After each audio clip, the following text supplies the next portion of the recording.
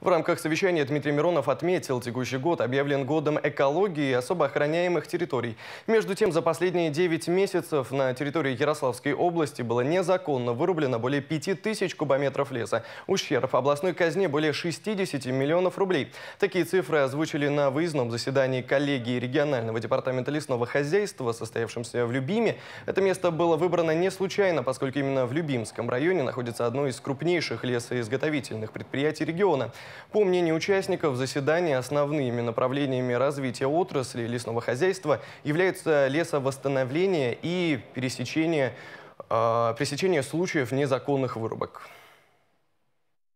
По результатам деятельности э, одни э, районы, одни лесничества у нас несколько западают, другие находятся в зеленой зоне. У нас предстоит большая работа в сфере пресечения незаконных рубок. У нас есть такие узловые места, узловые точки, где происходит наибольшее количество таких, таких рубок. С этим правительство Ярославской области будет бороться.